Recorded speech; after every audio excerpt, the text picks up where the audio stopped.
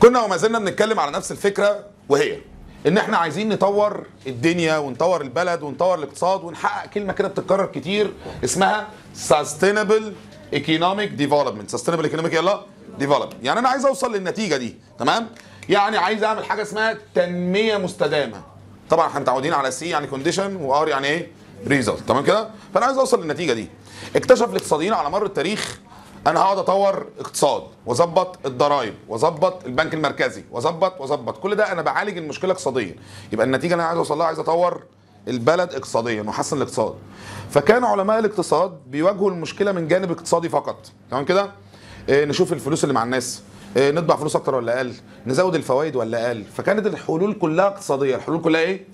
ولكن ثبت إن ده is not enough is not يلا enough طول ما أنت عمال تحل المشكلة من جانب اقتصادي فقط آه إنك تحل حلول اقتصادية ده ده حل بس مش حل كافي. لازم جنبه إصلاح القضاء والقانون. إصلاح يلا القضاء والقانون. أخلي القانون أسهل وأبسط والقضاء يكون يلا أسرع وأقوى وأكثر كفاءة. فاكرين الثلاث صفات بتوع القضاء؟ لازم يكون عندك قضاء قوي وسريع. اللي هم إيه؟ يلا. قضاء يكون يلا. independent تمام. و impartial و efficient طب أنا استفدت إيه؟ لما بيجي لك مستثمر أو حتى مستثمر مصري أو مستثمر أجنبي أول ما بيجي يفتح business بيسأل الأول هل البلد ظروفها الاقتصادية كويسة؟ تمام. وإحنا اشتغلنا على الاقتصاد كتير وحسنا الاقتصاد. طب لو حصل لي مشكلة ووقعت في مشكلة وغالبا هقع في مشكلة يا مع مستثمر آخر يا مع العمال. كل ال business في العالم فيه مشاكل لأن في تعارض مصالح. انت بتعمل عربيات في غيرك منافسين. بتعمل تلفزيونات في غيرك منافسين. فيحصل conflict of interest طب لما يحصل لي conflict of interest تمام؟ هاخد حق إزاي؟ هلجأ لي قضاء طب يا ترى بقى هقعد في المحاكم سنة ولا اتنين ولا 10 ولا 20 لو القضية هتتحل بسرعة يبقى القضاء سريع وكفء يبقى أنا ده هيشجعني إن أنا أعمل business وأزود مصانع ونزود فرص عمل. ليه؟ لأن الاقتصاد كويس جميل. والقضاء كمان قوي والقانون سهل. يعني لو حصل لي مشكلة هتتحل. بسرعة يقوم ده يشجعني أعمل استثمار. مش بس كده ده يشجع كمان المستثمرين اللي إيه الأجانب إن هم يجوا يعملوا عندك مشاريع. يبقى لو عايزين نحقق ال sustainable economic development only economic reform only يلا. لو طبقنا بس only economic reform تمام؟ يعني إصلاح اقتصادي فقط ده مش هيوصلنا لل sustainable economic development مش هتعمل تنمية ومش هتعمل تطوير ومش هتخلي المستثمرين يتشجعوا. طب لو عايز اوصل ان أنا ال sustainable economic development تحصل يعني إيه sustainable economic development تحصل؟ يبقى في تنمية اقتصادية مستدامة. دي اعملها إزاي؟ محتاج كام حاجة؟ اعالج المشكلة من جانبين. اظبط الاقتصاد واظبط القانون والقضاء تمام كده؟ يبقى محتاج كام شرط؟ اثنين تمام كده؟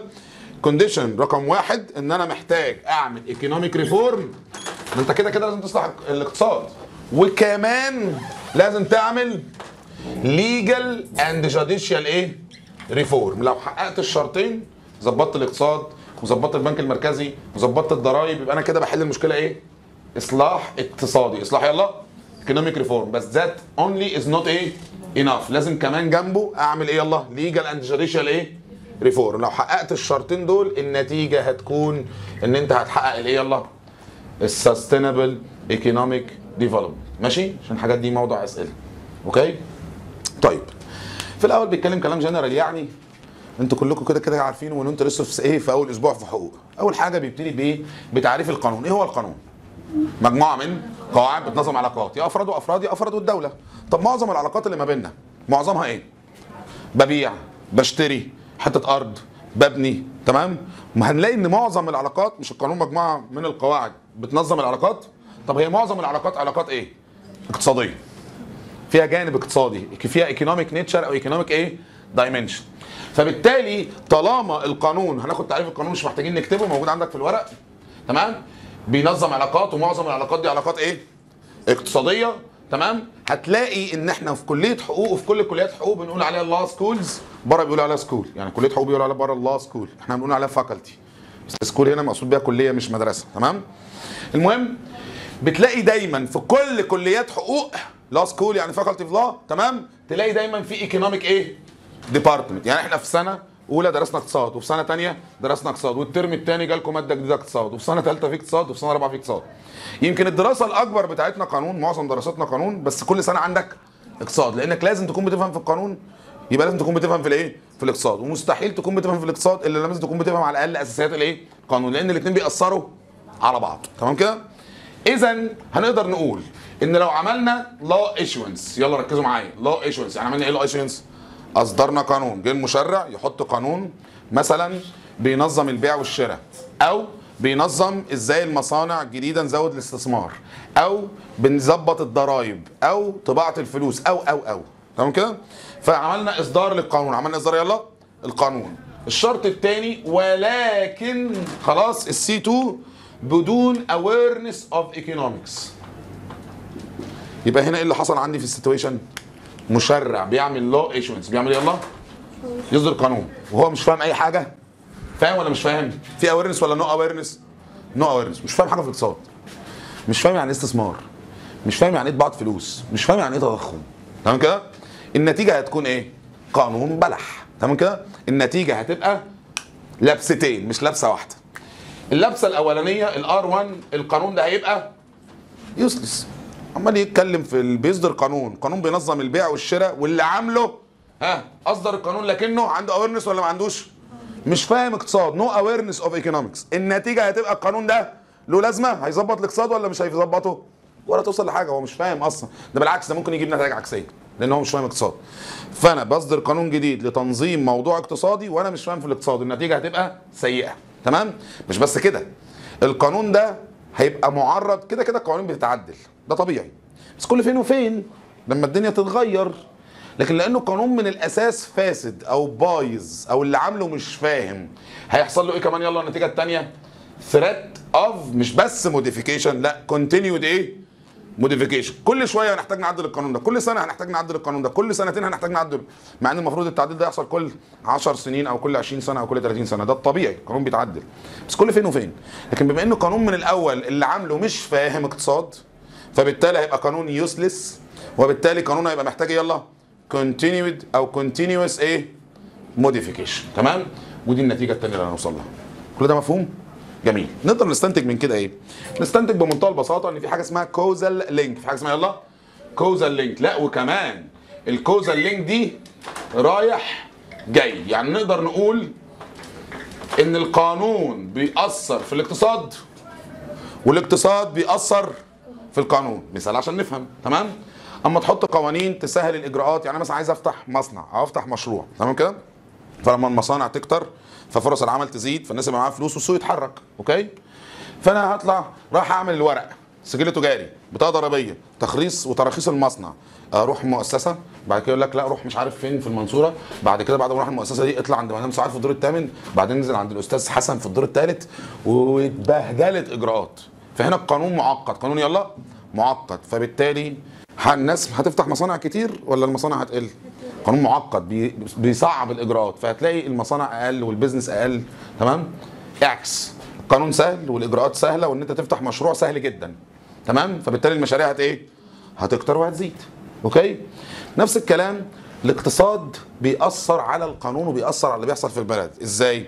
لما تلاقي الناس مرتاحة وظروفها الاقتصادية حلوة تلاقي المشاكل كتير ولا المشاكل قليلة؟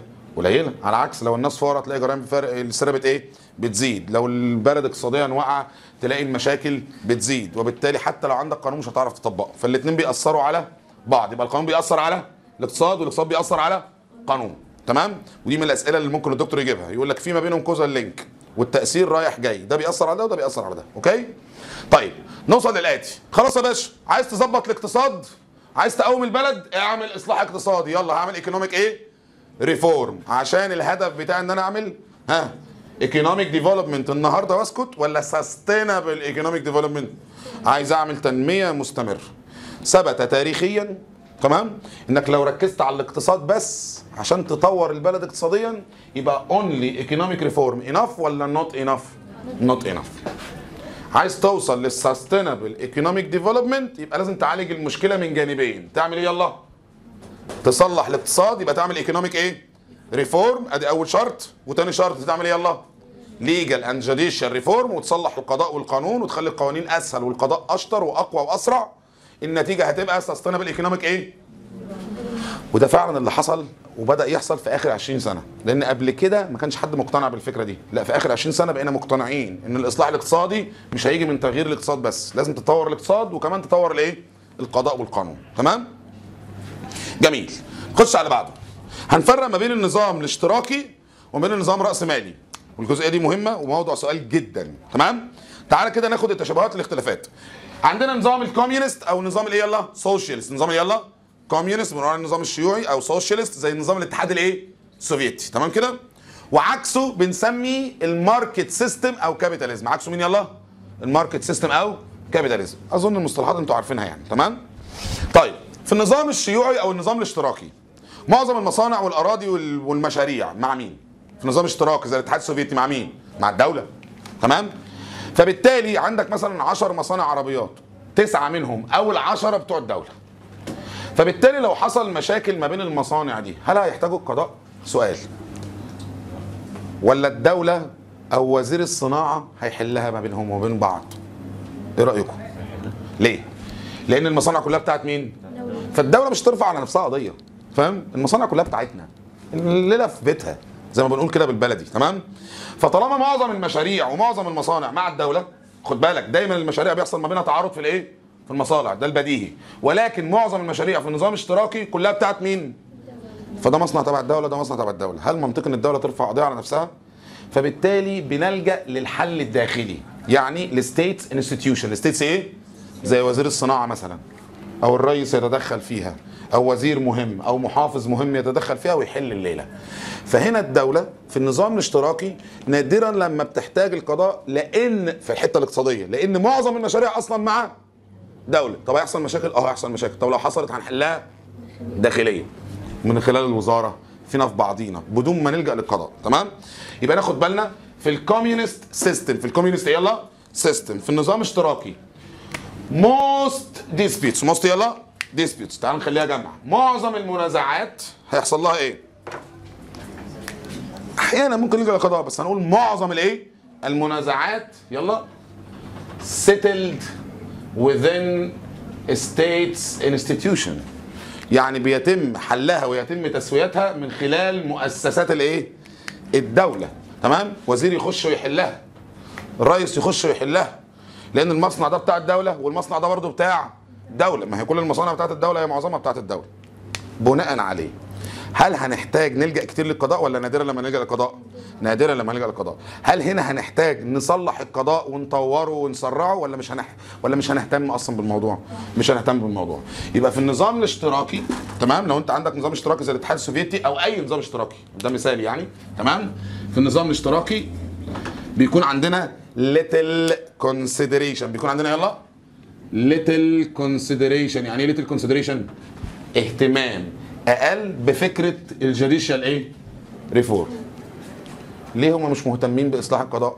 لأن هم أصلا نادرا لما بيلجأوا له.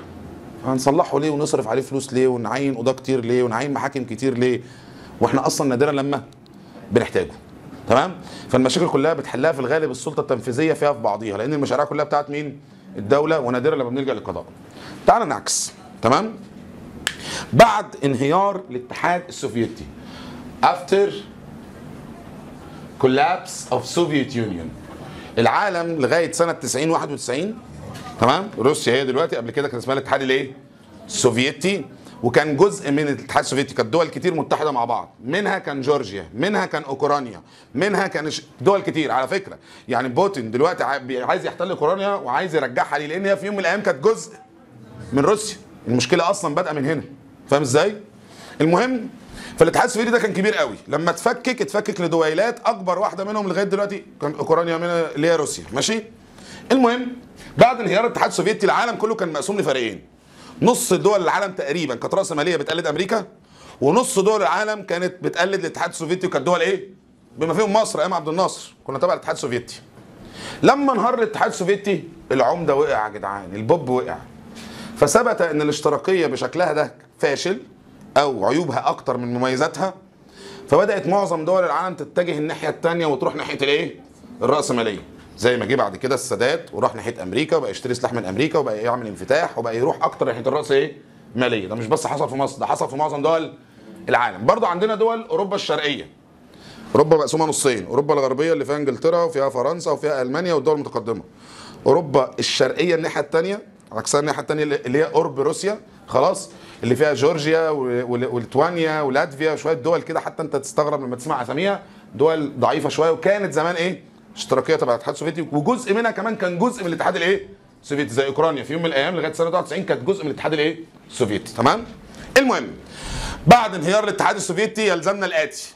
العالم بعد ما كان نص اشتراكي معظم الدول اللي كانت اشتراكية بدأت تحول لف وارجع تاني لف وارجع تاني وراحت عند إيه يلا الرأسمالية تمام؟ ال situation اتغير. في الرأسمالية إيه اللي بيحصل؟ معظم المشاريع بتاعت مين؟ في الرأسمالية في ال market system في ال capitalism معظم المشاريع والأراضي والمصانع مع مين؟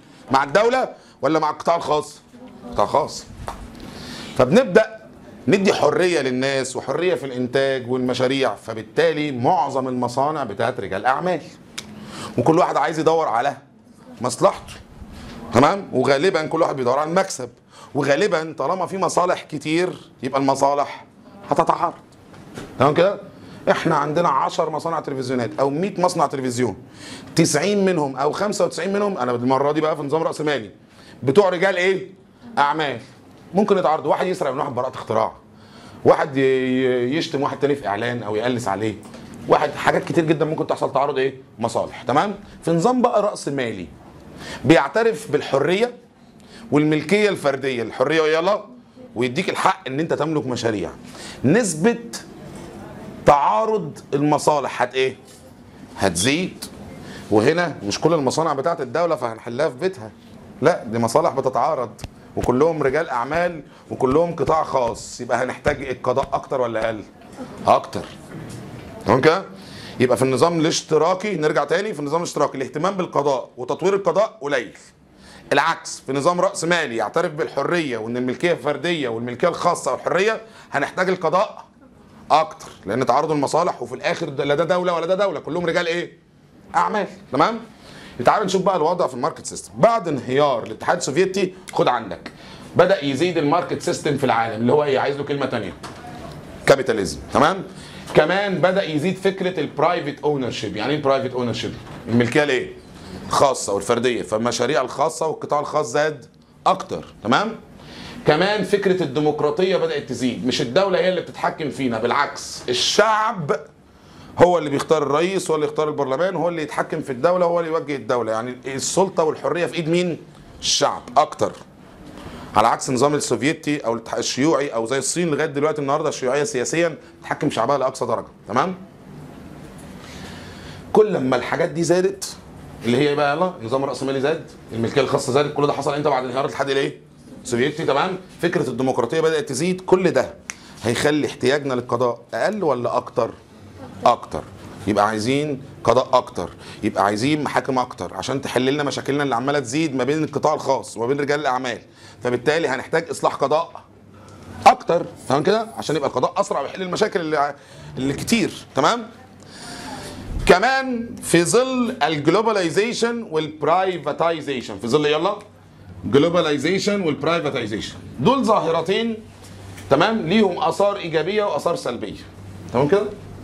العولمة على سبيل المثال آثارها إيجابية بالنسبة لمين؟ أمريكا. أمريكا النهارده مسيطرة على العالم بفكرة ال globalization وفكرة انفتاح الأسواق. لأن النهارده إحنا بناكل لبس بناكل أكل أمريكي وبنلبس لبس أمريكي ومعظم العالم كده على فكرة. متأثر بالثقافة الإيه؟ الأمريكية. حتى كلنا بنلبس بناطيل جينز هم اللي اخترعوا الجينز ده. تمام كده؟ مش بس الأكل اللي إحنا بناكله. فاذا ظاهرة العولمة خلاص لمصلحة أمريكا لدرجة إن إحنا لو تفتكروا في الترم الأول كنا بنوصفها ب Americanization. يعني إيه Americanization؟ إن أمريكا بتأثر فيك وأنت ما بتأثرش فيها. تمام كده؟ جميل؟ خلاصة الكلام. العولمة ليها آثار إيجابية وآثار سلبيه أي ظاهرة ليها آثار إيجابية وآثار إيه؟ مش هنتكلم عن آثار إيجابية. مين بقى اللي بيتضر من العولمة؟ النهارده أنا بفقد هويتي بفقد لغتي بنكتب على الكيبورد بتكتب العربي بحروف إنجليزي إحنا في كارثة. خلاص؟ لبسك مالكش لبس مالكش هوية أنت كل يوم بتفقد هويتك أكتر من الأول. وبالذات خلاص يبقى العالم معظم الدول المتخلفة والدول النامية تأثرها من العولمة تأثر إيجابي ولا تأثر سلبي؟ حتى إحنا لما خدنا منهم خدنا منهم العلم والبحث العلمي والصواريخ والفضاء والأسلحة ولا خدنا منهم الهرتلة؟ الهرتلة. التقليد في اي كلام. تمام؟ فهنا تأثير العولمة على الدول النامية والمتخلفة ركز معايا عشان ده برضو موضوع سؤال تأثير إيجابي ولا سلبي؟ سلبي. تمام كده؟ فخلانا نفقد هويتنا خلى الناس الفقراء فقراء أكتر والناس المحتاجة محتاجة أكتر. طب إيه علاقة العولمة يا شادي بالكلام ده؟ خلاص؟ ما هو دلوقتي في شركات عملاقة متوغلة في كل حتة زي جوجل زي فيسبوك زي كنتاكي زي ماكدونالدز منتشرة في كل حتة عمالة تزداد غنى النهارده انت عشان تفتح مصنع ولا تفتح مطعم انت وعلى المشاية والجامعة انت راح تنافس مين؟ راح تنافس أغلى وأقوى براندات في الايه؟ في العالم تمام كده؟ وبالتالي تأثير العولمة على الدول الفقيرة وبالذات على الفقراء والمحتاجين تأثير سلبي. طب أنا اتظلمت ومش عارف آخد حقي أو شغال عند شركة من الشركات دي زي كنتاكي أو ماكدونالدز ومش عارف آخد حقي أو فاتح مطعم وتعارضت مصالحي مع ماكدونالدز أو كنتاكي مين يجيب لي حقي؟ قضاء حلو قوي. تمام كده؟ فهنا في ظل العولمة لما الظلم بدأ يزيد أكتر بالنسبة للمحتاجين والفقراء بقينا محتاجين القضاء أكتر عشان يحل لنا المشاكل دي. تمام؟ خدش على بعضه. وبرده كنتاكي ماكدونالدز دي شركات قطاع خاص بس جاية لنا من مستثمر إيه؟ أجنبي. تمام؟ عندك برضو ال privatization يعني إيه privatization إحنا عندنا يلا يا المشروع مملوك للقطاع العام يبقى اسمه public يا المشروع مملوك للقطاع الخاص يبقى اسمه private طب إيه بقى privatization دي؟ الخصخصة. يعني نجيب مشروع. كان مملوك للدولة زي أيام عبد الناصر معظم المصانع اللي كانت في ميت غمر والمحلة مملوكة للدولة. يعني كانت public sector كانت إيه يلا public sector ونقوم جايين نبيعها لرجال أعمال. بعد ما كانت قطاع عام أصبحت قطاع خاص. the process of selling إن أنا بعت مشروع قطاع عام. بعته لرجل أعمال زيك زي كده يبقى أنا كده عملت حاجة اسمها خصخصة. خليته بدل ما هو يبقى قطاع عام يبقى قطاع إيه؟ خاص. فكرة كل ما الخصخصة تزيد كل ما الخصخصة تزيد. أول حاجة معظم الخصخصة حصلت في عهد مبارك تمام كده؟ كل رجال الأعمال اللي كانوا بيشتروا مصانع أحب أقول لك ثلاث أرباع المصانع أول حاجة كانوا بيعملوها بيرفضوا نص العمال. فتح كلام كده صباح الخير يا مصر عندنا كام عامل هنا؟ 2000 ارفد 1000 لأنه هو جاي همه إنه يشغل أكبر عدد من الناس ولا همه يكسب؟ آه الدولة كانت بتدي مرتبات وبتدلع مفيش مشكلة. لكن لما جه رجل أعمال اشترى المشروع أول حاجة عملها بيخش يرفد نص العمال ويجيب بدلهم آلات وإيه؟ ومعدات عشان يوفر في التكاليف. طب العمال اللي اترفدوا دول كان لهم عقود وكانوا متوظفين في الدولة بالقانون الإداري. النهارده بقوا تحت رحمة القطاع الايه خاص وعايز حقه وعايز مكافأة وعايز مكافأة نهاية الخدمة أو عايز يتثبت في الشغل ويرجع الشغل. يبقى محتاج يرفع قضية. تمام؟ فالخصخصة فادت ناس قليلين اللي هم رجال الإيه؟ الأعمال الأغنياء قوي اللي اشتروا المصانع دي. لكن ضرت معظم العمال واللي كانوا شغالين. فالمشاكل هنا بتقل ولا بتزيد؟ بتزيد. يبقى عندنا هنا آثار سلبية لل globalization خلتنا نحتاج قضاء أكتر. عندنا آثار سلبية لل privatization بالنسبة للفقراء والمحتاجين والعمال خلتنا نحتاج القضاء أكتر. وطالما هنحتاج القضاء أكتر كل يوم هيترفع قضية كل يوم هيترفع قضية كل يوم هيترفع قضية. يبقى محتاجين نزود المحاكم ونزود عدد القضاة ونخلي القضاء أكثر كفاءة وأكثر سرعة عشان يلاحق على المشاكل الكتير. تمام كده؟ يبقى على عكس أيام النظام الشيوعي كنا مش محتاجين إصلاح قضائي لا في النظام الرأسمالي وبعد انهيار الاتحاد السوفيتي بقينا محتاجين القضاء أكتر وإصلاح القضاء أكتر والقضاء أسرع كمان لأن المشاكل كترت. تمام كده؟ clear؟ بعد كده بيقول لك أنت بس مش محتاج بس تصلح القانون والقضاء لأن في عندك strong correlation عندك يلا؟ strong correlation ما بين ال law application وال GDP يعني لو عندك قانون جيد وبيطبقوا قضاة جيدين وبيطبقوا يلا قضاة جيدين الاقتصاد هيبقى أحسن فبالتالي ال GDP إيه ال GDP ده؟ اللي هو إجمالي الناتج الايه المحلي هي إيه؟ هيزيد ويعلى. تمام؟ تعالى بقى ناخد الدول العربية. فين هي من المعمعة اللي بتحصل في العالم ده؟ تمام؟ هل قدرت تحقق المعادلة دي؟ اللي هو عملت إصلاح اقتصادي؟ وإصلاح إيه؟ قضائي أحب أقول لك إحنا مثلا على سبيل المثال قطعنا شوط قوي جدا في الإصلاح الاقتصادي. قوي جدا تمام؟ بالذات في البنية التحتية. ولكن لسه القضاء عندنا بطيء وما بيلحقش على المشاكل آه قضاء مستقل آه قضاء نزيه لكن مشكلته في الإيه؟ في السرعة. طب هم اللي قاصدين يتأخروا ولا بسبب كتر القضايا؟ كتر المشاكل. وعدد القضاء إيه؟ قليل. فغصب عننا بيبقوا بطاء. تمام كده؟ ما بيلحقوش. فلغاية دلوقتي الدول العربية معظمها معظم الأرب إيه؟ كانتريز فشلت في تحقيق الديمقراطية. تمام؟ فكرة إن الشعب ليه دور ده في السنكوفه في معظم الدول إيه؟ العربية. إحنا لسه عندنا ملكية يا جدعان يعني الملكية لسه موجودة عندنا في الخليج. متخيلين؟ إحنا ورا قوي في حتة الديمقراطية. تمام؟ هل عندنا strong judiciary لأ. آه في صفاته مستقل بالذات في مصر لأن مصر كحالة. ما أنا قلت عشان القضاء يبقى قوي لازم يكون في كام صفة؟ ثلاثة. يكون يلا independent آه القضاء في مصر مستقل استقلال جزئي. طب يلا. impartial القضاء المصري من أنزه القضاة ومتنقين على الفراز آه impartial طب efficient سريع؟ لا. يبقى فقدنا الشرط ده. بسبب إن عدد القضاء إيه؟ قليل. 100 مرة. يا جدعان عينوا قضاء أكتر. عينوا ناس أكتر. فالدولة تقول لك معناش فلوس. ما إحنا لما هنعين قضاء أكتر هنحتاج إيه؟ فلوس عشان ندي مرتبات. اعملوا محاكم أكتر. مش ده هيحل المشكلة؟ لما المحاكم تزيد هتبقى أسرع في حل المشاكل. معناش فلوس نعمل محاكم أكتر. ميزانية لا تسمح. تمام؟ ولكن مؤخرا بدأنا نعمل ده. لدرجة إن مصر عملت محكمة متخصصة ودي من الخطوات القوية جدا اللي مصر عملتها في إصلاح القضاء اسمها محاكم اقتصادية. اسمها إيه يلا محاكم اقتصادية. يعني ما بتحلش إلا المشاكل الاقتصادية لرجال الأعمال الكبار والمستثمرين الأجانب كمان. وبس للأسف مش موجود ليها فروع في كل حتة في مصر في القاهرة وفي اسكندرية بس تقريبا على حد علمي يعني. تمام؟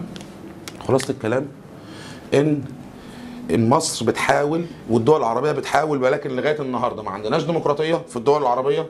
strong judiciary عندنا مشكلة في سرعة القضاء. فالنتيجة هتبقى في تنمية اقتصادية ولا ما فيش؟ ال result يلا. أنا عندي أهو. C 1 مفيش ديمقراطية. C 2 مفيش strong judiciary يبقى بداله weak judiciary تمام كده؟ فالنتيجة هتبقى إيه بقى؟ يلا. ال result هتبقى إيه؟ development ولا no development no development إيه الحل بقى يا باشا؟ إديني الحل كده في مصر. وإديني الحل على مستوى الدول العربية. لازم تحل المشكلة من منظورين. تعمل إيه؟ economic reform only لا. لازم تعمل economic إيه؟ يلا. reform وإيه كمان؟ و legal كمان. و judicial إيه؟ reform لا وكمان يبقى عندك قضاء قوي وكمان محاكم متخصصة زي اللي مصر عملتها كده اللي هي اسمها المحاكم الاقتصادية. المحاكم إيه؟ الاقتصادية. تمام؟ ولو الدكتور ما قالهاش كمثال يعني بس أنا حبيت أقولها لكم ده مثال موجود في الحقيقة فعلا. ماشي؟ خلاص شباب فهمنا الحدوته دي كلها؟ يلا نقرأ ونطلع شوية مصطلحات من الورق قبل ما أخش على الحتة الأخيرة. وسهلة الحتة الأخيرة سهلة. okay why judicial institution أنا مش هقرأ كل كلمة لأن في حاجات بديهيات أنا هعدي عليها وفي حاجات أنا شرحتها بالتفصيل. بس في كلمات و tricks لازم أقف عندها okay يلا بينا. بيقول لك إيه؟ Law is defined ده تعريف القانون مش محتاجين نقراها. مجموعة من القواعد بتعمل إيه؟ يلا. بتنظم العلاقات. نخش على الفقرة الثانية طب معظم العلاقات علاقات إيه؟ اقتصادية أو فيها economic dimension أو economic nature وبناء عليه نخش على الفقرة اللي بعدها. عشان كده لما بنيجي ندرس قانون في الكليات تلاقي كلية حقوق جواها مواد إيه؟ اقتصاد تمام؟ طب انزل في الفقرة الثالثه في آخر سطر على اليمين خالص هتلاقي كلمة اسمها causal relation causal إيه يلا؟ relation علاقة إيه؟ سببية. إن القانون بيأثر في الاقتصاد والاقتصاد بيأثر في القانون تمام؟ يبقى هو هنا كل اللي الدكتور عمله. عرف القانون القانون بمجموعه من القواعد بتنظم الايه يلا؟ العلاقات. تاني فقرة. معظم العلاقات علاقات إيه؟ اقتصادية. ما ينفعش تدرس قانون بس ولا اقتصاد بس. لازم تدرس الايه؟ الاثنين لأن الاثنين بيأثروا في بعض تمام؟ خش على بعده. هتلاقي حاجة اسمها live evidence لغاية الآخر بيدي لك المعادلة بتاعت اللي أنا كاتبها لك هنا تحت إن الإصلاح الاقتصادي لوحده لا يكفي لو أنت عايز تعمل تنمية لازم إصلاح اقتصادي وجنبه إصلاح قضائي وقانوني تمام اقلب الصفحة The issue of judicial reform فكرة الإصلاح القضائي بدأنا نهتم بيها في العالم إمتى؟ فكرة الإصلاح القضائي بدأنا نهتم في العالم بيها إمتى؟ يلا بعد انهيار الاتحاد الإيه؟ السوفيتي ونفرق ما بين الأنظمة الاشتراكية والأنظمة الرأس إيه؟ مالية يلا في الأنظمة الاشتراكية معظم المشاريع بتاعة الدولة فاحتياجنا للجوء للقضاء قليل وبالتالي احتياجنا لإصلاح القضاء قليل. تمام؟ نقرأ يلا. بيقول لك the issue of judicial reform بدأت تحصل على اهتمام في العالم more consideration mainly after بعد إيه يلا؟ collapse of communist Soviet Union. بعد انهيار الاتحاد الإيه؟ السوفيتي الاشتراكي أو الشيوعي. تمام؟ And the transformation process وبدأ العالم يتحول يبعد عن الاشتراكية ويروح أكتر ناحية الرأس إيه؟ مالية. فكرة التحول دي بقى محتاجة إن أنت كمان تطور القضاء اللي ما كناش بنهتم بيه أيام الاشتراكية. بقينا بنحتاج sustaining legal and judicial frame إيه work. ليه بقى؟ لأن إيه اللي كان بيحصل أيام الاشتراكية؟ تمام؟ الموضوع ما اتغيرش إلا بعد الاشتراكية أو بعد انهيار الاتحاد الإيه؟ السوفيتي. بسبب هيفسر لك هو إيه اللي كان بيحصل أيام الشيوعية. يعني ليه ما بدأناش نهتم بالقضاء إلا بعد انهيار الشيوعية؟ تمام؟ بسبب يلا because under the communist regime تحت ال communist system the state was the main player يعني إيه the state was the main player يعني معظم المشاريع بتاعت الدولة هي كلها يا معظمها وبالتالي there were little consideration for judicial system. ليه كان فيه اهتمام قليل بالقضاء؟ لأن طب يا عم ما في مشاكل. ما هو أنا نادرا لما بلجأ للقضاء فمش مهتم بيه تمام؟ لأن معظم المشاريع بتاعت الدولة as most لأن as هنا بتيجي بمعنى كتير بمعنى because دكتور رضا بيستخدمها كتير بمعنى because ماشي؟ as most of disputes would be settled في القضاء ولا within state institutions. أنا في نظام اشتراكي يبقى معظم مشاكلها بنحلها في إيه؟ في بيتها. يوم داخل وزير حللها. بدون ما نلجأ للإيه؟ للقضاء. تمام كده؟ clear النظام بقى الرأسمالي عكسه. اللي جاي كله بقى هنتكلم لما انهار الاتحاد السوفيتي وبدأ يظهر مين يلا؟ ال market system. تمام؟ جنبها على طول هتلاقي كلمة recognition of private إيه؟ ownership بدأ يظهر النظام الراسمالي أو capitalism وفكرة الملكية الخاصة فالعكس الآية هنا اتقلبت. معظم المشاريع هتبقى مع القطاع الخاص. تمام؟ فإذا انزل في السطر اللي بعده هتلاقي بدأنا. Judiciary is expected to play the principal guard. هنا القضاء هيبقى هو الحارس والحامي لحقوق الناس مش المشاريع بقى قطاع خاص؟ طب لما نتشاكل طب لما نتعارض نحلها إزاي. نلجأ للقضاء تمام؟ خصوصا لما يحصل conflict of إيه of interest خدها كده قاعدة. في النظام الرأسمالي تمام؟ تعارض المصالح بيزيد واحتمالية تعارض المصالح بت إيه؟ بتزيد لأن المصالح بتاعت ناس كتير. على عكس في النظام الاشتراكي كل حاجة كانت في إيد الإيه؟ الدولة في الدولة منظماها. حتى لو حصل مشكلة بتلمها مع نفسها بدون القضاء. تمام؟ أو نادرا لما تلجأ للقضاء. أما هنا في 100 رجل أعمال هيتعارض مصالح فتعارض مصالح هيزيد فهنلجأ للقضاء أكتر. في الرأسمالية also under the western campaign promoting democracy. برضه بدأت تظهر فكرة الديمقراطية والغرب يقول لك الديمقراطية ونزود الديمقراطية وحقوق الإنسان والكلام اللي بيقعدوا يقولوه ده. تمام؟ برضه دور القضاء بدأ إيه؟ يزيد. انزل معايا على السطر الثاني على اليمين. under strong judiciary على السطر الثاني على اليمين. under strong يلا. judiciary يعني أنا بادئ في الفقرة اللي فيها also تاني سطر على اليمين. في ظل قضاء قوي والقضاء القوي عشان يبقى قضاء قوي لازم يكون في كام صفة؟ ثلاثة اللي هو إيه يلا؟ independent judiciary وإيه كمان يلا؟ impartial judiciary وإيه كمان يلا؟ efficient مستقل ونزيه أو محايد يعني. وإيه؟ وكفء. يعني كفء. سريع. تمام كده؟ جميل. Political stability بيبدأ يظهر حاجة اسمها استقرار سياسي. الدولة خلاص الشعب بيختار الحاكم بتاعه فليه دور وليه رأي فتلاقي في استقرار مفيش مشاكل مفيش ثورات مفيش مظاهرات مفيش اعتصامات لأن الشعب ليه رأي. فنادرا لما يحتاج تمام كده؟ كمان بيحصل حاجة مهمة اسمها efficient control. يلا علينا عليها فتلاقي السطر الرابع. efficient control. إحنا عندنا كام سلطة؟ ثلاث سلطات تشريعية وقضائية تنفيذية. فالقضاء لو قوي مش بس بيحل مشاكل الناس لا ده كمان بيشرف على السلطة التنفيذية وبيشرف كمان على السلطة التشريعية. تمام؟ فقوة القضاء لما يزيد. استفدت حاجتين. حل مشاكل الناس إيه؟ أسرع اللي هي المشاكل الاقتصادية ما بين الناس. وكمان بقى عندي effective control على السلطتين التانيين اللي هم مين بقى؟ السلطتين التانيين اللي هم مين؟ يلا. ال legislative authority ومين كمان؟ يلا. وال executive authority إزاي براقب على السلطة التنفيذية؟ لو غلطت عندي محاكم إدارية ومجلس دولة. فأنا ممكن اترفد ممكن أخسر مشكلة أمام الدولة فأروح أرفع عليها قضية أمام القضاء الإيه؟ الإداري والقضاء الإداري من أنزه ومن أقوى وكمان سريع إلى حد ما أسرع القضاء في مصر تمام؟ طب إزاي أشرف على السلطة التشريعية؟ إزاي القضاء بيشرف على السلطة التشريعية؟ لو السلطة التشريعية أصدرت قانون معارض للإيه؟ للدستور عندنا محكمة اسمها المحكمة الدستورية العليا تلغي القانون تحكم إن هو غير إيه؟ دستوري. فلو عندك قضاء قوي بيحل مشاكل الناس وكمان بيراقب على السلطتين التانيين. ماشي؟ خش معايا اللي بعده يلا. besides هتلاقي globalization معايا في كلمة globalization ها؟ واقلب الصفحة هتلاقي ورا privatization شايفين الفقرتين دول؟ فكرتهم واحدة. إن ظاهرة العولمة والخصخصة ليهم آثار إيجابية بس الدكتور ما جابش سيرة الآثار الإيجابية ولا في الكتاب ولا في المحاضرة. بس أي فكرة أو أي ظاهرة في العالم بيكون ليها آثار إيجابية واثار إيه؟ يلا. سلبية. ال globalization فاد مين؟ الدول القوية. لكن ضر مين؟ الدول الناميه والفقراء. فالفقراء عالميا the poor gets poorer يعني إيه the poor gets poorer الفقير ازداد فقر. ماشي؟ والمحتاجين كتروا والمشاكل كترت. تمام؟ بسبب ظاهرة العولمة وظاهرة الإيه؟ الخصخصة. الخصخصه يجي رجل أعمال. ده استفاد. فهو رجال الأعمال استفاد. بس اشترى المصنع وطرد العمال. فعدد كبير اتضر نتيجة إن فيها أضرار بقى و negative effect negative إيه؟ يلا. effect اللي اتضروا من العولمة أو اللي اتضروا من ها؟ هتضر من العولمة إزاي؟ أنا مشروع صغير بنافس النهارده مشاريع عملاقة زي كنتاكي ماكدونالدز لو أنا جاي أفتح مطعم. النهارده في الخصخصة أنا عامل كنت شغال في الدولة لما باعوا المشروع للراجل الأعمال رفدني. أدي اتضريت أهو. الحاجتين دول اتضريت. عايز حقي بعمل إيه؟ بلجأ للقضاء. يبقى هنحتاج القضاء أكتر. تمام؟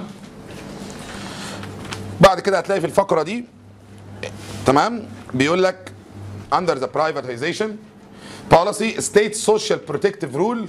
دي من الأسئلة اللي ممكن تيجي. دور الدولة. في حماية العمال وإنه لما يتعين كان زمان يقول لك كده اللي يتعين في الدولة عمره ما يترفد فين وفين؟ ويفضل دايما ضامن مرتبه. تمام؟ دور الدولة في حماية العمال. زاد ولا قل؟ قل. ده سلمت العمال تسليم أهالي رجال الأعمال. يعملوا فيهم اللي هم عايزينه. فهنا دور الدولة في حماية العمال إيه؟ قل. تمام كده؟ انزل على السطر اللي بعده. هتلاقي كلمة شرينكد ودايمنشد دور الدولة قل. أنا في نظام رأس مالي دلوقتي. فدور الدولة بيزيد ولا بيقل؟ بيقل. طالما دور الدولة قل ودور السلطة التنفيذية قل ودور الحكومة قل في حماية العمال يبقى مين اللي لازم دوره يزيد عشان يحمي العمال؟ قضاء. فهنا نحتاج القضاء أكتر. ماشي؟ عشان نعوض الفرق ده. خلاص؟ فانزل معايا يلا. هتلاقي كلمة إيه؟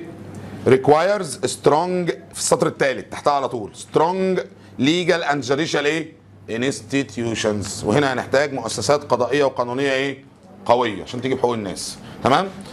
في نفس الفقرة بنعمل correlation ما بين مين ومين. يلا. قانون قوي اقتصاد قوي. قانون ضعيف اقتصاد ضعيف. اعرف إن أنت عندك قانون قوي يبقى عندك يلا GDP مرتفع والإنتاج هيبقى زي الفل. تمام؟ دي بنسميها correlation بنسميها يلا correlation خش معايا على الفقرة اللي جاية. هتلاقي بيقول لك for the above reasons. for يلا.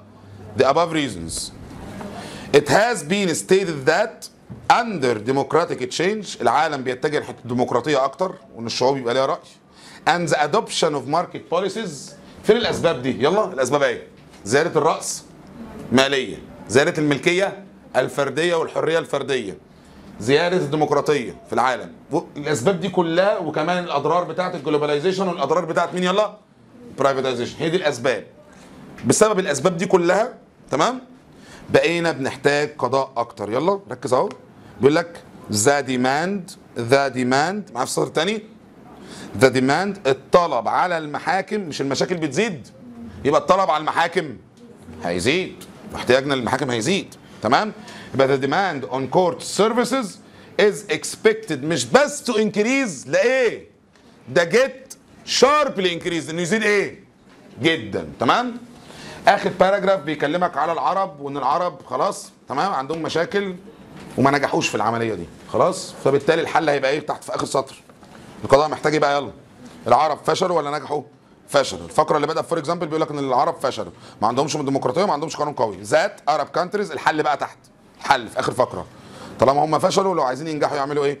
Arab countries crucially need بيحتاجوا بشدة transparent rules of law محتاجين قوانين أحسن وشفافة وجيدة. Just independent efficient judicial system. محتاجين قضاء قوي وعادل. وكمان محتاجين specialized judicial specialized يلا. إن فكرة القضاء المتخصص تزيد. زي المحاكم الاقتصادية في مصر كده. محتاجينها تزيد أكتر. ماشي؟ clear يا شباب؟ دلوقتي السؤال الثاني أو الفكرة الثانية اللي بنتكلم فيها إحنا في ظل عولمة دلوقتي ومنظمات دولية كتير صح؟ يعني مثلا لما ظهرت الكورونا في بداية الكورونا طلع منظمة كده اسمها ال World Health Organization اللي هي اسمها يلا؟ WHO صح كده؟ WHO دي وقالت لك إلبس كمامات اعمل إغلاق اعمل حظر تجول. وفي ناس سمعت الكلام وفعلا لحقت الوباء وفي ناس ما سمعتش الكلام زي إيطاليا والوباء إيه؟ تفشى لأن معظم المنظمات الدولية بتنصحنا مش بتجبرنا. نادرا لما بتستخدم ال binding decisions بتديك نصايح بس تمام؟ أو مساعدات يا تاخدها يا ما تاخدهاش تمام؟ في ظل نفس الفكرة دي تمام؟ بيقول لك ال judicial reform عالميا اتأخر قوي طب تقول لي ده مهم ده مهم ده مهم والاصلاح القضائي مهم واحتياجنا للقضاء مهم خصوصا بعد التحول الرأسمالي في العالم صح؟ والتوجه ناحية الديمقراطية. جميل. طالما هو كده يا عم ليه بقى ظاهرة الإصلاح القضائي بدأت تنتشر قوي في آخر 20 30 سنة بس؟ ليه يعني ما حصلتش من 100 سنة؟ طالما هو مهم قوي كده. فعايزين نجاوب على سؤال تمام؟ why judicial reform delay ليه إصلاح القضاء؟ يلا. اتاخر وجاي لسه في آخر 20 30 سنة. ليه؟ تمام؟ يلا بينا. واحد. لأن no direct effect إصلاح القضاء عامل زي إصلاح التعليم كده. إحنا مثلا شغالين على إصلاح التعليم بقالنا 20 سنة. نسمع إصلاح التعليم إصلاح التعليم إصلاح التعليم. طيب شفت علماء شفت عالم ذرة مثلا عندنا؟ شفت حد اخترع الحاجة جديدة؟ لا.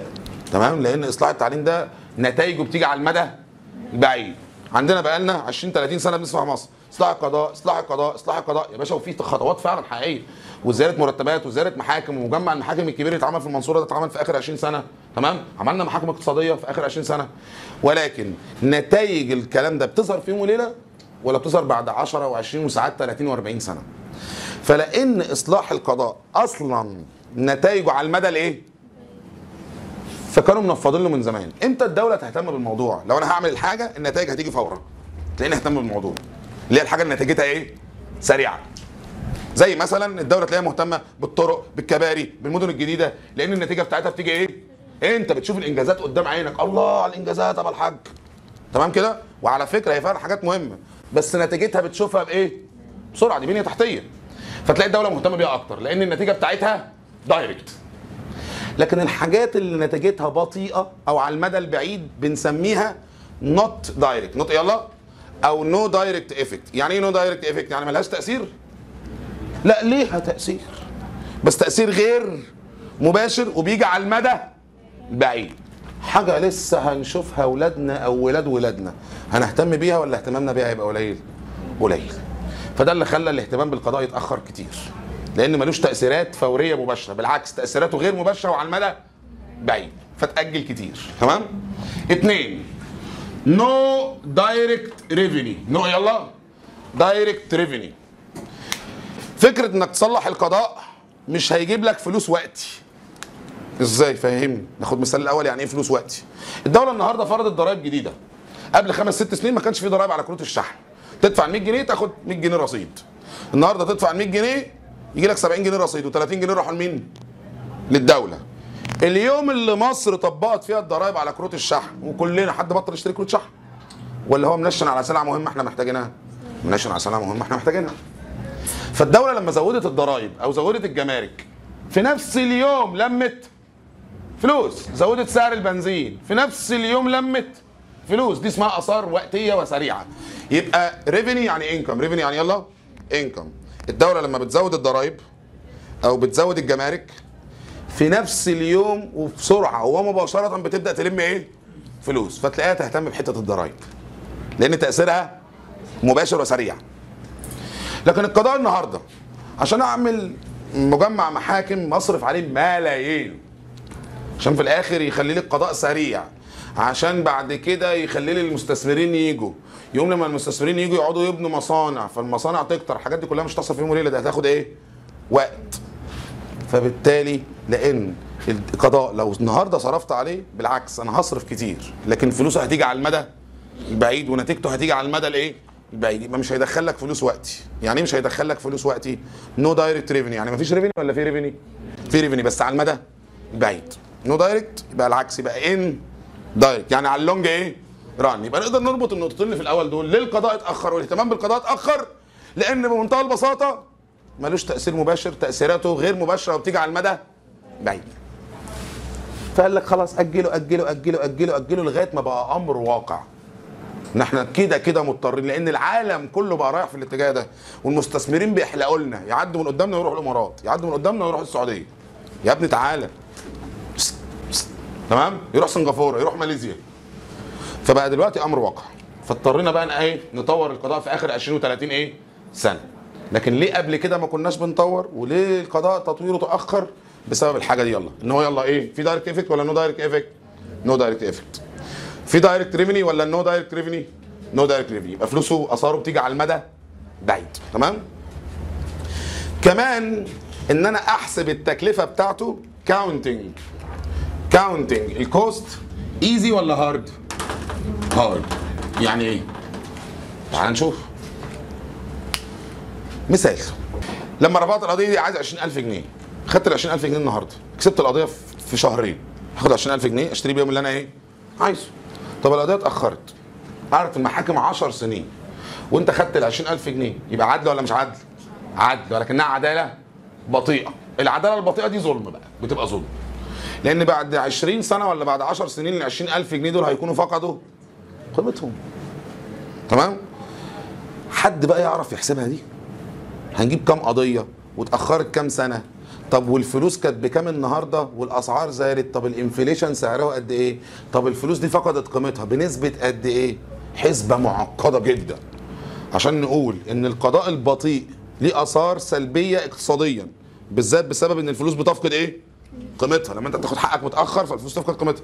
عشان تحسب حسبة زي دي معقدة جدا وصعبة جدا خصوصا لو هتحسبها على مستوى إيه؟ دولة. خلاص؟ فده خلى الاقتصاديين مش واخدين بالهم من الأضرار. لأن الموضوع أصلا أنا النهارده مثلا عارف إن البتاعة دي باظت وكلفتني 20 جنيه حسبتها. لكن فكرة إن القضاء بطيء حسابتها وتأثيرها اللي على الاقتصاد تمام؟ حسبته إيه؟ صعبة ومعقدة. فده خلانا ما نهتمش بالموضوع ونقعد نأجل نأجل نأجل لغاية ما بقى أمر واقع. ماشي؟ اللي بعده. هل في specialized IO متخصصة في ظل العالم اسمها المنظمة كذا المهلبية لتطوير القضاء في كل حتة؟ يعني مثلا عندنا منظمة اسمها ال World Health Organization. دي بتهتم بالإيه؟ صح وهي اللي ادت نصايح أيام الكورونا وقالت للناس البسوا كمامة واقفلوا ايطاليا ما سمعتش الكلام لبست. تمام؟ تعال ناخد مثال تاني.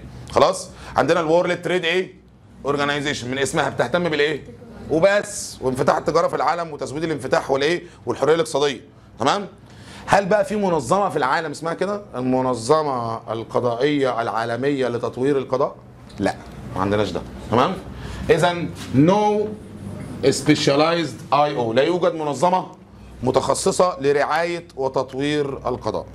دكتور قال حاجة كده وزودها في المحاضرة وأعتقد برضو إن دي من الأسئلة اللي ممكن يجيبها في الامتحان. قال إن إحنا عندنا حاجة اسمها مثلث إدارة الاقتصاد الدولي العالمي. مثلث يلا؟ The triangle of administrating the international economics. يعني إيه the triangle of administrating إدارة the international economics يعني مين؟ في ثلاث مؤسسات أو ثلاث منظمات عالميين نقدر نقول عليهم international institution أو international إيه؟ organization. والكلمتين عندكم في الورق. هي مؤسسات اقتصادية. خد عندك. يلا. World Trade Organization منظمة التجارة الإيه؟ العالمية. ودي هدفها إيه؟ عارفينها. ودرسناها من الترم الأولاني. تنظيم التجارة وتحرير التجارة في العالم. عندك كمان ال IMF دي منظمة ولا مش منظمة؟ منظمة دولية برضو. تمام كده؟ وهدفها تمول الدول اللي محتاجة. وبتدي قروض للدول الفقيرة. يبقى هدفها ال finance. هدفها يلا finance. تمام كده؟ وعندنا كمان البوب بتاعهم ال World Bank ال WB البنك الدولي وده هدفه لما اتعمل بعد الحرب العالمية الثانية خلاص؟ إن هو كانت الدول المنكوبة والدول اللي اتدمرت في سب بعد الحرب العالمية الثانية لأن كان في دول اتساوت بالإيه؟ بالأرض زي ألمانيا كده واليابان إن هو يساعدهم ويقومهم تاني على إيه؟ على رجلهم. تمام كده؟ وفعلا ألمانيا قامت وبقت من أقوى دول العالم وفعلا اليابان قامت وبقت من أقوى دول العالم اقتصاديا تمام؟ جميل. يظل ال WTO متخصص في التجارة. يظل ال IMF متخصص في ال finance يعني finance بيمول الدول الإيه؟ الفقيرة أو اللي معاش فلوس. قام جه ال World Bank قال لك هو القضاء ده ملوش أهل. أنا وظيفتي إن أنا أقوم الدول صح كده؟ بعد الحرب العالمية الثانية وخلصت وظيفتي وقومت الدول اللي انهارت. تمام كده؟ طب ما تيجي أساعد الدول كلها بقى. طيب يا جدعان ما تيجي تساعد دولة. أهم حاجة تساعد دولة فيها إيه؟ إنك تحسن مستوى المعيشة والاقتصاد. وبقى في international consensus يعني إيه international consensus معلم إجماع عالمي أو إجماع دولي على إن مستحيل يحصل تطوير الاقتصاد بإن أنت. تعالج المشكلة اقتصاديا بس. لازم كمان تطور الإيه؟ القضاء. تمام؟ فمن الورلد بانك قال لك خلاص أنا هتبنى المشروع ده. أنا آه ما اسميش ال- المنظمة الدولية القضائية ما اسميش كده. أنا اسمي الورلد بانك بس أنا هتبنى الفكرة دي. تمام؟ يبقى آه إحنا ما عندناش منظمة متخصصة ولكن مين هيتبنى فكرة دعم القضاء في كل حتة في العالم؟ ال World Bank تمام؟ هنا دخل الورلد بانك بيقول لك however ال World Bank تدخل آه إحنا ما عندناش منظمة متخصصة بس however خلاص. Many international programs برامج كتير عالمية لتمويل لتمويل القضاء وتطوير القضاء وتطوير الدول النامية. And many international organization مش بس كمان ال World Bank وكمان منظمات أخرى زي ال United Nation بدأت تهتم بالموضوع. تمام؟ بدأوا يعملوا إيه بقى يا معلم؟ خد عندك. تمام؟ بقى عندنا international consensus. To do what يلا. C1 developed judiciary. لو حققت إن أنت يبقى عندك إيه؟ يلا. قضاء متطور. قضاء يلا. متطور. جميل. ادي اول شرط. و accountable judiciary المهم إن هو قضاء اللي هو إيه؟ independent و impartial وايه و efficient زود معاهم كمان. وعملت إصلاح اقتصادي. يبقى المؤسسات دي كانت بتهتم الأول بس بالاقتصاد. دلوقتي كمان بقت بتهتم بالإيه؟ بالقضاء. مين أكتر منظمة فيهم مهتمة بالقضاء؟ الورلد بانك تمام كده؟ النتيجة هتبقى خد عندك R1 وR2 R1 وR إيه 2 يلا. طورنا القضاء وطورنا الاقتصاد. النتيجة هتبقى عندنا يلا. Sustainable economic development وكمان هيبقى عندك democratic transformation. يعني democratic transformation تحول ديمقراطي. ما أنت لما تحسن الاقتصاد فالناس يبقى معاها مشاريع فالناس يبقى معاها فلوس فينفع يبقى ليها رأي بعد ما كانوا عبيد وفلاحين في كل حتة في العالم في العصور القديمة. ماشي؟ clear آخر حاجة هنقولها يلا. مين بدأ يتبنى فكرة إصلاح القضاء ومساعدة القضاء؟ منظمات كتيرة وبنوك كتيرة على مستوى العالم تمام؟ مين بدأ يهتم بإصلاح القضاء؟ وإحنا بنقول بقى في إجماع international يلا consensus تمام؟ في منظمات كتير وبنوك كتير على مستوى العالم بدأت تمول الدول وتديهم فلوس أنا عايز أطور القضاء أنا كدولة وعايز أعمل محاكم جديدة وعايز أدخل computer system بس محتاج للموضوع ده مليار جنيه أو مليار دولار. معيش فلوس أنا كدولة معيش فلوس. يوم يجي ال World Bank يديك الإيه؟ المليار دولار تمام كده؟ ويسلفك الفلوس ويقول لك بفوائد قليلة جدا ويبقى سددهم على مدى البعيد. يعني بيساعدك. وساعات بيدي فلوس ببلاش كمان. هبة كده. ما بترجعش. يعني مش قروض. تمام؟ فهنا ال World Bank بدأ يساعد. مين كمان بدأ يساعد؟ خد عندك. في بنك اسمه البنك الأمريكي. في بنك اسمه البنك الآسيوي. في كمان حاجة اسمها يبقى دول بنسميهم ال other banks بنسميهم يلا ال other banks تمام؟ بنوك دولية أخرى برضو بتسلف. and حاجة اسمها ال USAID يعني إيه USAID حد يعرفها؟ US ال United States و aid يعني؟ مساعدة. حلو كده؟ دي اسمها المعونة الأمريكية. أمريكا بتلعب لعبة خلاص اسمها اطعم الفم تستحي العين. يعني إيه؟ تديك فلوس ظاهرة إن هي بتساعدك. اسمها معونة. وفعلا بلا مقابل. يعني ده مش قرض. تدي لك فلوس وما بتاخدهاش تاني. حلو كده؟ تخيل واحد كل يوم بيدي لك 100 جنيه الصبح. هيعمل فيك إيه؟ هيتحكم فيك. وعلى فكرة اسمه بابا. تمام كده؟ ماشي؟ ماشي؟ مش هتعرف تستقل منه لما يبقى معاك فلوس. أمريكا بقى بتعمل كده مع الدول. بتدي للدول إيه؟ يلا فلوس. بلا مقابل وقصاد كده بتتحكم فيهم. فيجي يقول لك أنا هساعدك وهصلح. عايز فلوس تصلح القضاء؟ خد فلوس صلح القضاء. تمام؟ بس بيبقى عندها بعد كده تيجي تقول لك ما تحاربش إسرائيل. أقف ضد روسيا. تمام؟ اشتم العراق. فقصاد كده قصاد إن هي بتساعدك بتساعدك آه وبتساعد القضاء. بس عندها political إيه؟ consideration في ضغوط سياسية واعتبارات سياسية في الموضوع. تمام؟ لكن مين اللي نيته صافية؟ ال World إيه؟ بانك. إن هو عنده specified goal عنده يلا؟ specified goal هدف محدد إيه هو؟ إنه يساعد القضاء في العالم ويقوم الاقتصاد في العالم. ده اللي الدكتور قايله. خلاص؟ بس أحب اكد لكم إن ال World Bank ده مش إحنا هنجاوب هنجاوب على ده. إن ال World Bank ما عندوش أهداف سياسية أما هو عنده يلا هدف محدد إن هو يطور القضاء طب بعد ما يطور القضاء فيطور الاقتصاد ويحقق ال sustainable إيه development تمام؟ يبقى سألني على ال World Bank ال World Bank هدف يطور القضاء والاقتصاد. سألك على أي بنك تاني؟ أو المعونة الأمريكية بيكون عندهم أغراض إيه؟ آه قصاد اللي بيساعدك بيه بيقصدها بيضغط عليك في حاجة تانية أو بيطلب منك طلبات قصادها. ماشي؟ تعال نقرأ الرقمين أو كام حاجة كده نعلم عليهم ويبقى خلصنا. أول صفحة كل الكلام فيها متعاد المهم إن في الأول شايفين النقطة دي؟ دي كلها بنسميها أسباب تأخر تطوير القضاء. مش إحنا بنقول تطوير القضاء مهم. أسباب تأخر تطوير القضاء الأربع أسباب دول هتلاقيهم هم أول فقرتين. ماشي؟ تخش على الفقرة الثالثة. اللي هي بتقول هل عندنا منظمة متخصصة ولا لا يوجد منظمة متخصصة؟ هل في منظمة في العالم اسمها منظمة تطوير القضاء؟ لا. مش منظمه مش موجودة. زي منظمة الصحة العالمية؟ لا ده مش موجود. تمام؟ انزل بقى على الفقرة الأخيرة. ومع ذلك بالرغم إن إحنا مش عندنا منظمة متخصصة إلا إن مين تبنى الموضوع ده؟ بقى في إجماع من العالم وبدأ يحصل اهتمام وبرامج ومؤسسات كتير تهتم ومنظمات دولية كتير تهتم لكن أكتر حد اهتم هو مين؟ الورلد بانك. تمام؟ اقلب الصفحة. شوية أرقام وإحصائيات لابد من حفظها. بالتواريخ. ويمكن هي دي الأرقام الوحيدة اللي عندنا في ال mid في في الجزء ده في ال mid ماشي؟ خد عندك بيقول لك إيه؟ In respect of World Bank إحنا مش قلنا المنظمات كلها بدأت تهتم؟ منظمات كتير بدأت تهتم وتصرف بس مين أكتر حد اهتم World Bank تعال نشوف ال World Bank صرف كام على الموضوع ده. Started his initiatives مبادرة أو مبادرات في 1992 بالتاريخ ها؟ المبادرة بقى لإيه؟ واسمها إيه؟ أنا عشان أصلح القضاء. فهي بتعمل إيه واسمها إيه؟ يلا. المبادرة for development and reform of judicial system all over the world. يعني هو عايز يساعد تطوير القضاء واصلاح القضاء في كل حتة في الإيه؟ مع إن الورلد بانك لما تم إنشاؤه هو هدفه اقتصادي في الأساس لكن النهارده اكتشفنا عشان تطور الاقتصاد يبقى لازم كمان تطور الإيه؟ يبقى خلاص يبقى اهتم بالقضاء تمام؟ عمل برنامج أو مبادرة سميه initiative أو سميه program شايفين كلمة initiative تحتها على طول هتلاقي كلمة program سمى البرنامج ده إيه بقى؟ called اسم البرنامج مهم. ده developmental goals for the new millennium. إحنا دلوقتي في الألفية الثالثة. عدينا أول سنة 1000 سنة ثاني 1000 سنة. دلوقتي إحنا في الألفية إيه اللي بعدها. الألفية اللي إحنا فيها دي. كل 1000 سنة اسمها millennium زي ما أنتم عارفين يعني. تمام؟